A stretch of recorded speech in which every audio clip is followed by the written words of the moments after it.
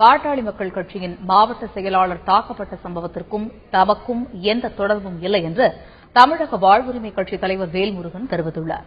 கடலூர் வடக்கு மாவட்ட பாமக செயலாளர் ஆறுமுகம் உட்பட அக்கட்சியைச் சேர்ந்த எட்டு பேர் மீது தாக்குதல் நடத்தப்பட்ட சம்பவம் தொடர்பாக தமிழக வாழ்வுரிமை கட்சித் தலைவர் வேல்முருகன் உட்பட ஐம்பது பேர் மீது முத்தண்டிக்குப்பம் பகுதி போலீசார் வழக்கு பதிவு செய்து விசாரணை நடத்தி வருகின்றனா் வேல்முருகனின் சகோதரர் திருமாவளவன் கைது செய்யப்பட்டுள்ளார். இந்த நிலையில் நெய்வேலியில் செய்தியாளர்களுக்கு பேட்டியளித்த வேல்முருகன் தமக்கும் இந்த சம்பவத்திற்கும் தொடர்பு இல்லை என்று கூறினார்.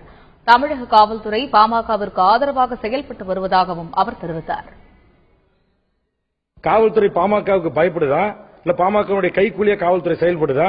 மாவட்டம் முழுவதும் இருக்கிற தமிழக வாழ்வுரிமை கட்சியின் மாவட்ட செயலாளர்களையும் மாநில நிர்வாகிகளையும் நகர செயலாளர்களையும் என்னுடைய சகோதரர்களையும் காவல்துறை வீடு புகுந்து அத்துமீறி உள்ளே புகுந்து கைது செய்வது கடுமையான கண்டனத்துக்குரியது.